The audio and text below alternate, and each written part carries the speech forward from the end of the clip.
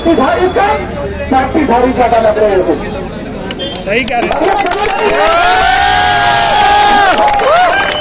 और मैं ये भी बताना चाहता हूँ पुलिस के आलाधिकारी जो यहाँ पर सामान संभाले हुए हैं इंटेलिजेंस के जो लोग सामान संभाले हुए हैं उन लोगों को ये भी बताना चाहता हूँ ये सत्ता ये कुर्सी सदा के लिए नहीं रहती है। ये सामान सदा के लिए नहीं रहती है। इसका भी ख्याल रखा करो कि ये लोकतांत्रिक व्यवस्था है।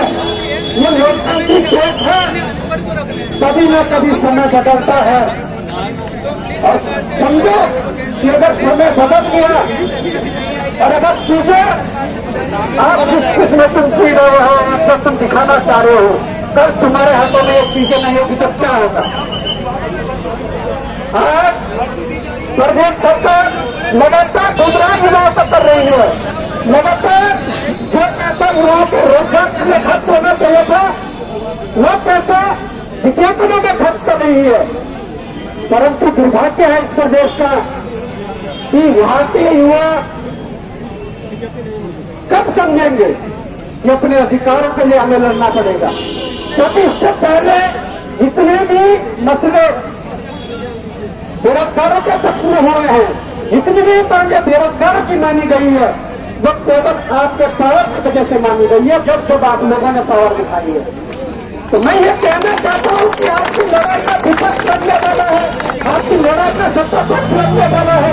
आप लोगों को खुद अपनी लड़ाई लड़नी पड़ेगी। तब जाकर इस आंदोलन को, इस लड़ाई को आगे बढ़ाया जा सकता है। मैं कहना चाहता हूँ कि आज तमाम प्रकार की मांगे हैं। वो मांग पुलिस, कांस्टेबल, भर्ती में सीमा बढ़ाने को लेकर हो। बहुत ही अगर दो हज़ार चौदह में पुलिस विज्ञापन निकलता है और उसके बाद सीधे इक्कीस बाईस में निकलता है।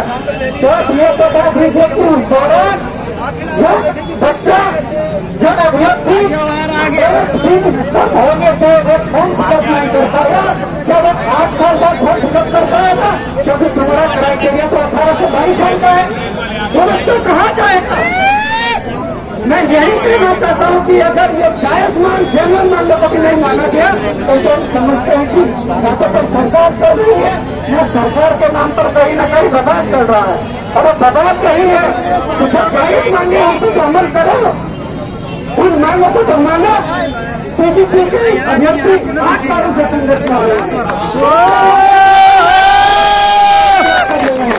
इसके अलावा फॉरेन जाट की विज्ञप्ति हो, या उसकी सीमा को लेकर बात हो, या इसके अलावा नियमितीकरण की जो बात कर रहे हैं, मैं कहना चाहता हूँ कि सरकार ने भले फैसले लिए हो, पर मैं इस सरकार की जो वर्तमान में चल रही है, या जो चौबीस वर्षों में प्रोसेस में चली है, वो किसी की भी सरकार नहीं हो। मैं इन सरकारों की हैसियत नहीं देखता। कि वो पच्चीस हज़ार अपना पंद्रह हज़ार आपके संविदा कर्मी और पंद्रह से बीस हज़ार पीआईटी तकरीबन साठ सत्तर हज़ार के कर्मचारी होगा तो मैं इनकी हैसियत नहीं देखता कि ये इनको पता कर सके। हाँ आपस में लड़ाने के लिए गुमराह ज़रूर करेंगे। लॉलीपॉप ज़रूर दे देंगे। मैं ये कहना चाहता हूँ कि अगर इस प्रकार की परिपाटी इस प्रदेश में बनने लग जाए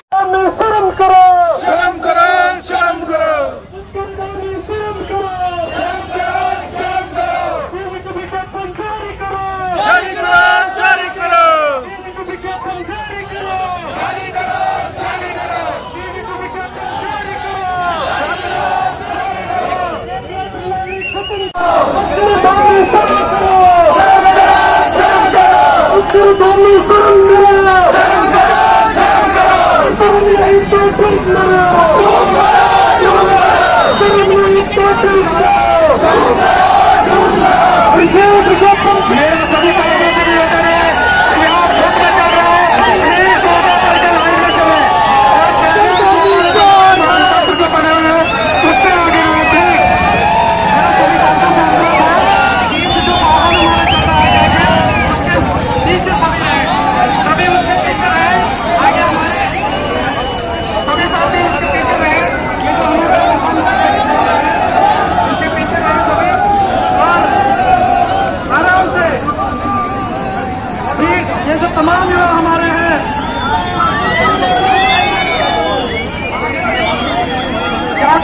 मत जाए प्लीज़ प्लीज़ ऑटो से आगे मत जाए। और किसी कितनी लगे हमारा ऑटो भेज रहा है उसी पंक्ति में लाइन बनाए।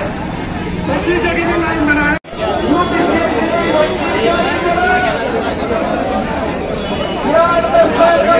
खत्म करो अभी सरकार अभी सरकार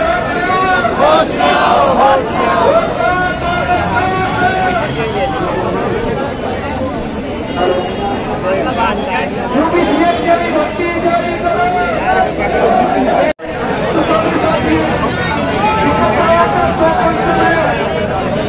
आगे बढ़े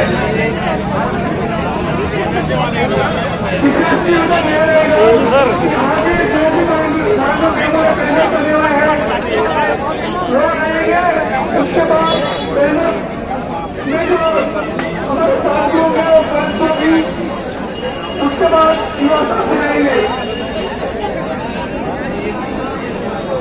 आज उत्तराखंड महिला मंच अपने समस्त सहयोगी संगठनों के माध्यम से नशा विरोधी अभियान, एक जन जागरण जो कार्यक्रम हमने चलाया है, उसके तहत आज यहाँ पर हम एकत्र हुए हैं। और पता चला, क्योंकि एसपी ने वार्ता के लिए बुलाया था कि बेरोजगार संघ का भी आज ही एक बहुत बड़ा जुलूस यहाँ पर से निकलने वाला है।